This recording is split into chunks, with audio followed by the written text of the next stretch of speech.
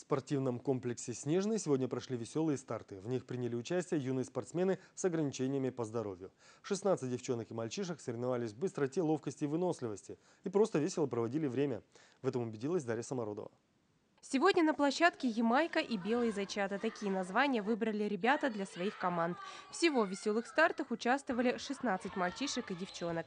Они соревновались в быстроте, ловкости и точности. Пробежать с мячом, пройти препятствия, пронести мячик на теннисной ракетке, добежать до рубежа и собрать предметы в корзину, набрав при этом наибольшее количество очков.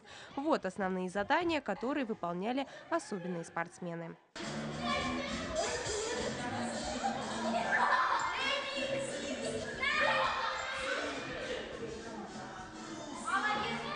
Я люблю очень спорт. Э, мы сегодня занимались э, в веселых соревнованиях, участвовали в спортивных состязаниях. Э, и мне очень понравилось. Глядя на спортивные успехи этих ребят, понимаешь, что ничего невозможного в жизни нет. Эта площадка стала местом не только для соревнований, но и для общения.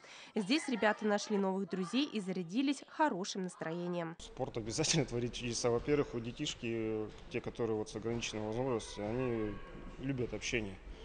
То есть они, многие бывают замкнуты, а когда они все вместе, детей общение, они чувствуют, что они нужны.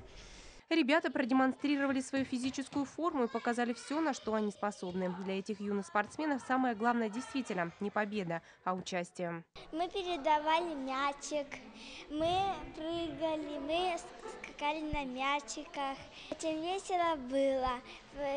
Все приняли участие и победила дружба. По результатам шести эстафет команда «Ямайка» вышла вперед, но по решению судей была объявлена дружеская ничья.